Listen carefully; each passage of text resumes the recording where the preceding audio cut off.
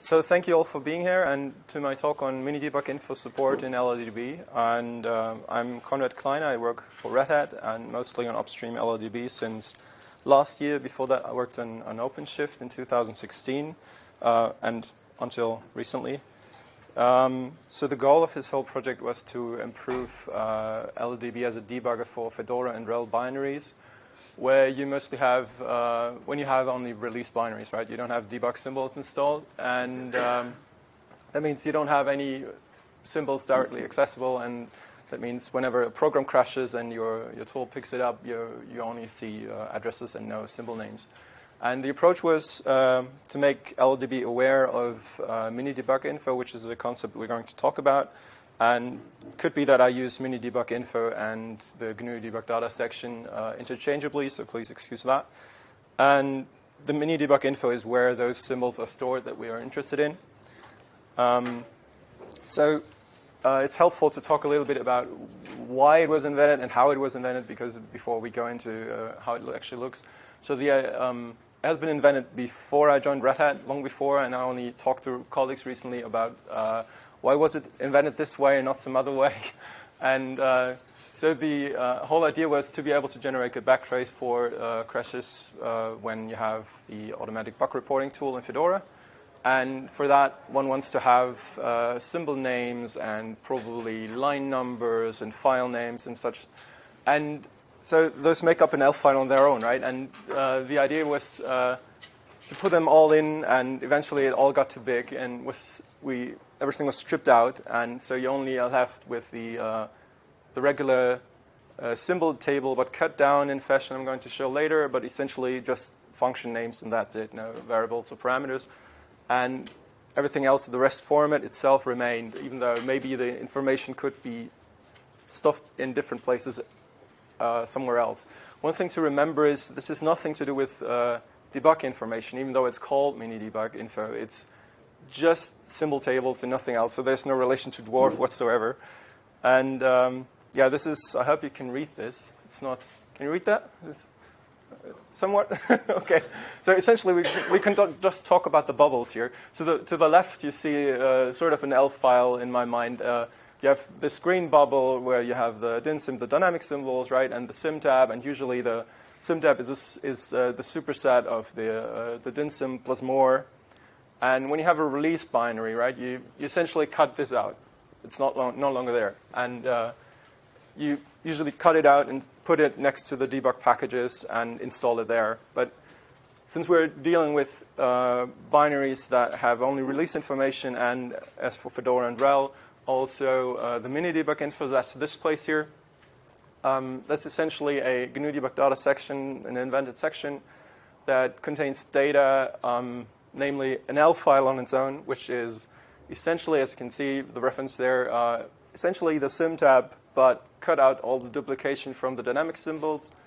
And the holds that looks like a uh, Swiss cheese, that's more or less, uh, we've put out everything that is not a function name or, um, for example, you've put, uh, stripped out symbol names and variables and so forth. Uh, sorry, uh, variables and parameters, right? And that has some implications on LLDB. For example, um, when you start the program and you read the symbols, you, um, LLDB usually tries to find um, if there's a, if there's a symtab, that's enough, right? You have everything.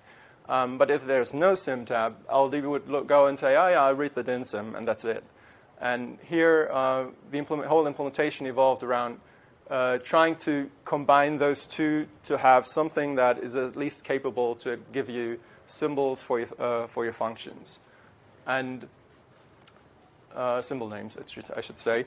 So um, the way I, I, did this was focus on, uh, on backtraces and not on crashes or so forth, but make LLDB essentially aware of those symbols so that you can set a breakpoint, hit it, and maybe dump the symbols.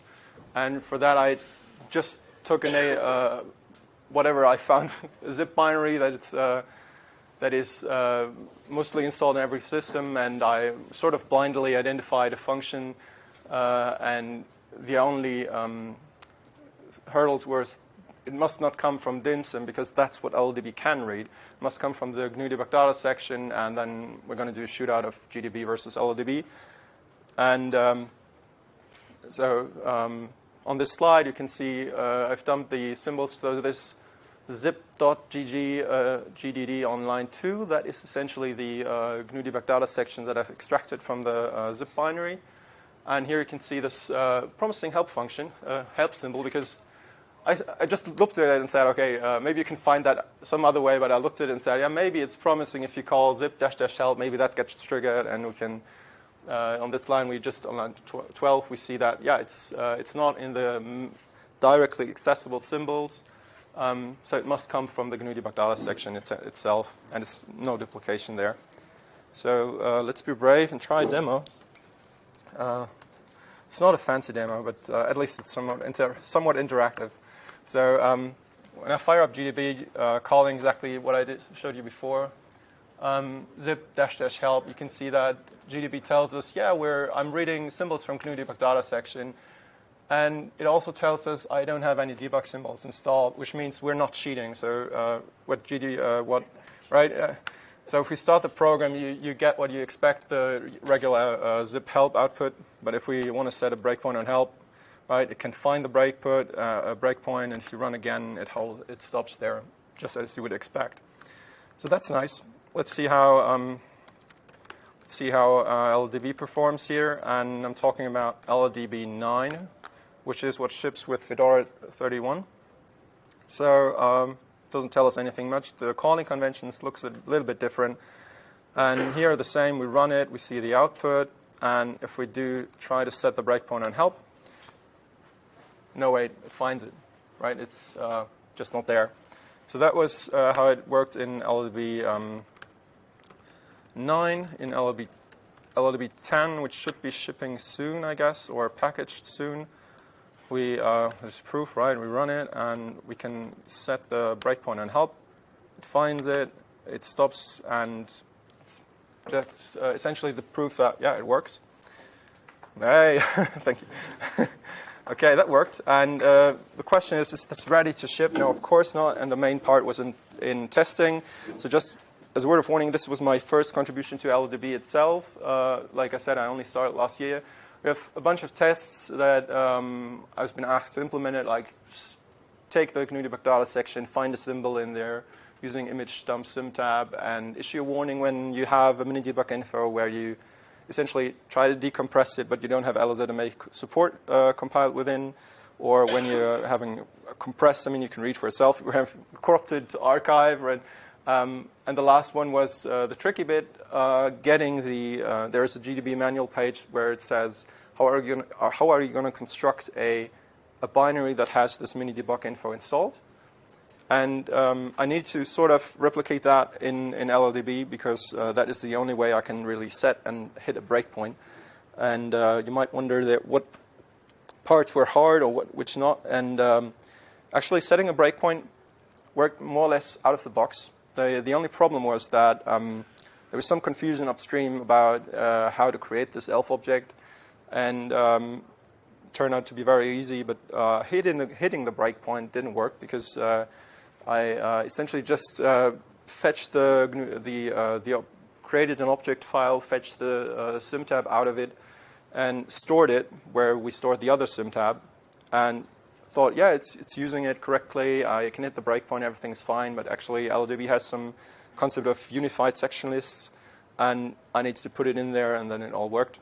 And um, also, LLDB does work with um, this uh, concept of having a stripped down ELF file that is not runnable, but um, where it can do symtab uh, dumps on, or um, yeah, and that's not ideal to, to if you want to say, I can hit a breakpoint, right? It needs to be runnable.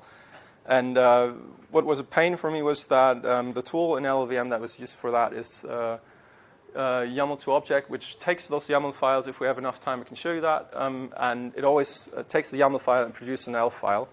And um, that made my test go nuts and my head It exploded because it always produced the symtab, and I didn't realize that at first um, because then LLDB only sees, yeah, I see a symtab, I'm going to read that, and it was empty, no symbols found. So, um, like usual, you have uh, the regular polishing for upstream, making everybody happy, and um, documentation is really an issue in, uh, in LLDB, I'd say. Um, yeah, so uh, we have more time, so let's head over the, to some uh, more slides. Um, what I really liked was, uh, I came to love actually the, the LLVM integrated tester, which consumes files like this one, but it doesn't have to be a C file. Um, here, as you can see, probably guess, we just print the number of arguments in line 8, and that's about it. And we have a number of tools involved here. So you pass this to the, uh, the LV, LVM lit tester, and it double it, it is interested in those requires and run comments that, that you can see there, and it just says, yeah, I need a Linux system, LZMA support must be compiled in, I need the exact executable, and then it's just going to execute one by one the, the run statements. You're not supposed to do that in line two, that you directly call GCC, but here I'm just doing it for the sake of explanation. So percent %t and percent %s are, uh, percent %s is this file, percent %t is a temporary file just for this test, and you, then you compile it to the percent %t, call percent %t, give them a bunch of arguments, output that to file check, and you also pass the current file as an input to file check again. So that then is interested in the check com comments just to, to check that, yeah, it's, it's going to check that the number of outputs is five. So uh, that required a little bit of work, just some CMake canonization, like uh, whenever you set it, I mean, CMake is, you can just say, uh, turn it on, true, one, or whatever. So that was canon, those were uh, sorted, start, sorted as one or uh, as, I don't know, it falls, I don't remember. But that was, that was sort of it. And that's the example I have uh, for um, an, an sparse, not runnable ELF file, where you essentially just describe your ELF file in YAML format and then say, um, okay, I'm like before, we have those requires run and check comments, and pass it to, to the lit, uh, to the LLVM lit, and then essentially it, all it does is tries to find the multiply by four uh, symbol name there that you can see at the end of line five in the content, and uh, as you can see, notice line three.